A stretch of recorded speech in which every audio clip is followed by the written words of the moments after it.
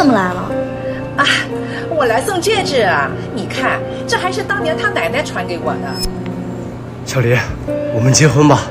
等我以后有钱了，我一定给你换个大钻戒。